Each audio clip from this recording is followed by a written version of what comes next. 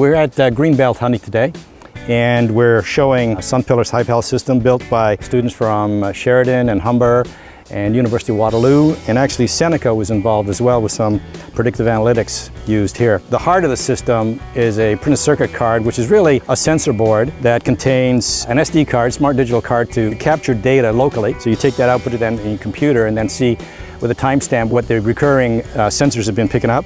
Uh, real-time clock is on the board. In addition, uh, the sensors include a sound sensor at the top and a temperature sensor which goes into the hive. Temperature changes can actually predict swarming and temperature changes are important. We also have a ventilation fan because above 35 degrees we have issues with the queen laying. To read the data locally, we have a Bluetooth application that sits on an Android tablet. So within 40 feet of the Hive Health system, you can pick up the data. And with this particular unit that we have, there's a technology called LoRa, L-O-R-A, which is low power, long range. Less power than a cell phone, but more power than Bluetooth. So in a rural environment like we have here Greenbelt Honey, it's a 14 click to the nearest gateway or hotspot in order then to get on the internet and pick up the data. The assembly here is a one-stop shop for beekeepers. For $8.99, we wish to move this with a nucleus, so there'd be bees in here, for example, there would be the at least the two supers which would hold the, the nucleus of bees. And then we'll open this up in a second, but we'll show you a weight sensor so you can monitor the accumulation of honey. Uh, at some point in time, you tend to take the honey supers off once they get full, otherwise you have a honey-bound situation with hives. We also have a CO2 sensor, bees breathe, and the higher the CO2 level, the busier the hive. We're really trying to monitor the health of the hive with external environmental parameters measured in to see if we can do some predictive analytics with our hives. In the top cover here, which is a molded top cover, in order to keep a battery alive, we have solar panels charging it. As you can see, there are 10 of them. This is a lithium polymer battery.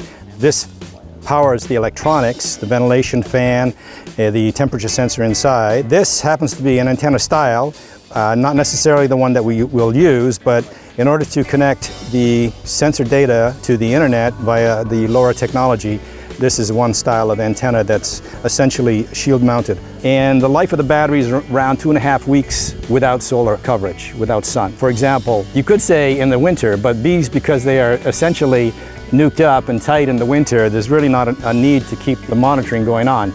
Unless, unless you really, really want to, and then we can limit the data that's pulled and try and extend the life of the battery. In addition to a full unit, we have rain gauge, anemometer, which gives you wind speed and wind direction. So again, if you can't measure it, you can't manage it. And the, the attempt here is to pull in as many variables as possible. So along with barometric pressure, humidity, and temperature in the top cover and luminosity, so you have the light intensity, we now have a, a full up Hive Health system.